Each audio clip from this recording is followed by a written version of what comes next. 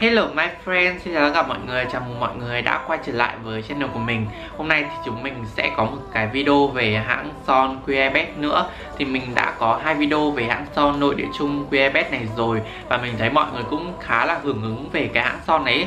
Nên là hôm trước thì mình có thấy hãng này được đề xuất ở trên cái trang chủ Shopee mọi người. Thế là mình thấy hãng này có một cái son nó đóng trong cái dạng hũ như, như thế này ấy. Mình thì mình đã thử dạng thỏi và dạng kem rồi Nhưng mà cái dạng đóng mũ như thế này thì mình chưa thử bao giờ Nên là mình cảm thấy khá là lạ.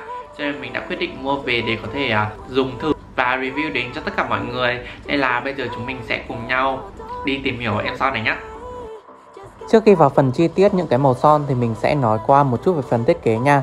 Đầu tiên em này được gói trong một cái vỏ hộp giấy khá là chắc chắn mình mua ship từ Trung Quốc về Việt Nam ấy thì 6 hộp không có hộp nào bị uh, móc méo cả. Khi mà mọi người mở ra ở bên trong thì sẽ có một cái cọ nhỏ nhỏ xinh xinh. Cái cọ này thì mình thấy tán son khá là ok nó không bị quá cứng ấy về cái chất liệu nhựa của cái hũ son này thì mình cảm thấy nó không được chắc chắn lắm. Khi mà mở cái hũ son ra ấy thì nó hơi rít một xíu. Nhưng mà cũng đúng thôi, về giá 42.000 thì chúng mình cũng không thể nào đòi hỏi một cái chất liệu nhựa xịn rồi. Ok, bây giờ chúng mình sẽ cùng nhau tìm hiểu 6 màu son này là gì nha.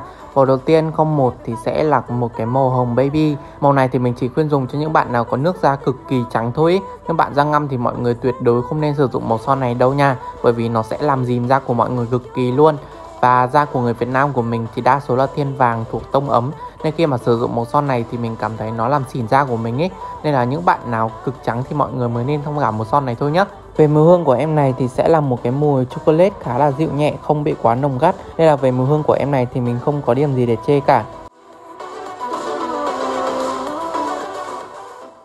Màu tiếp theo 02 là một màu cam cháy. Màu son này khi mà đánh lên môi thì trông da của mình rất là trắng sáng luôn. Tuy nhiên, nhược điểm của màu son này thì nó sẽ làm xỉ men răng của mình khá là rõ rệt.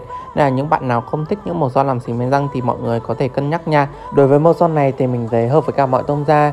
Nhưng mà khi sử dụng màu son này thì mình vẫn khuyên mọi người là nên có make up. Nhất là mọi người nên nhấn vào phần mắt đi Bởi vì khi mọi người có make up thì nhìn tổng thể khuôn mặt của chúng mình sẽ được hài hòa hơn. Người ta sẽ không quá chú ý vào môi của mình ấy Nên là màu son này có hơi làm xỉ men răng một chút thì cũng không thành vấn đề gì. Về chất son của bạn này thì sẽ là một chất son blur. Khi mà mọi người mới lấy son ra từ cọ thì mọi người sẽ cảm thấy chất son này khá là bột. Nhưng mà khi mọi người tán đều ra rồi thì cái chất son này nó khá là mềm mịn luôn. Và son này khi đánh lên môi thì nó sẽ không bị lộ quá nhiều rãnh môi của mình Và nó kiểu che phủ rãnh môi khá là ok. Tiếp theo màu 03 thì sẽ là một màu cam đất.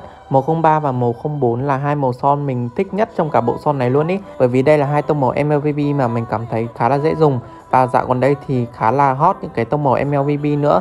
Nên là tại sao chúng mình không cho hai em này một cơ hội, đúng không?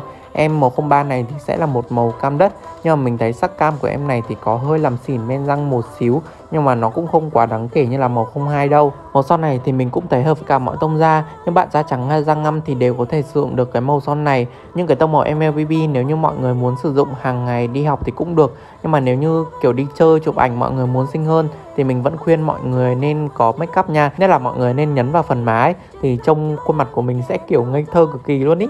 Kế tiếp là màu 04 màu son này khi mà thoạt nhìn qua thì mọi người thấy nó khá là giống với màu 03 đúng không? Nhưng mà màu son này thì mình thấy nó sẽ nhiều sắc hồng hơn và sắc cam của màu này, nó chỉ kiểu ưng ửng thôi chứ nó không quá rõ như màu 03 ban nãy. Màu này thì cũng là một màu MLBB khá là dễ dùng thôi. Da trắng hay da ngăm thì mọi người đều có thể sử dụng được.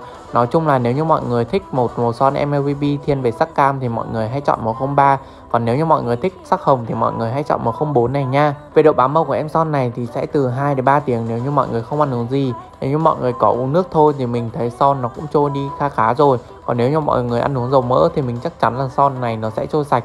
Bởi vì cái tính chất của chất son blur thì nó sẽ không thể nào bám trên môi của mọi người quá lâu đâu. Và sau khi son trôi thì mình thấy gần như là nó không để lại một cái lớp stain gì cả. Nên là mình nghĩ là mọi người cần mang son theo để dặm lại nha. Tiếp theo, màu 05 thì sẽ là một màu đỏ đất.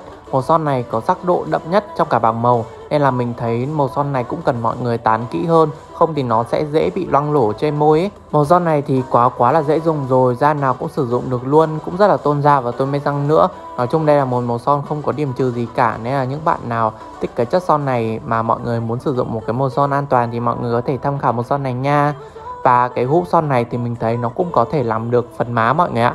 Hôm nay mình cũng sử dụng màu 03 để làm phần má này mọi người ơi. Về cái cách để sử dụng em này làm phần má thì mọi người hãy cho một cái lượng màu ra tay, Sau đấy mọi người hãy xoa đều hai ngón tay, Sau đấy mọi người hãy tắp lên mặt nhá. Mọi người đừng có lấy màu rồi mọi người bôi trực tiếp lên mặt luôn Thì nó rất dễ bị bết và không tán được ý.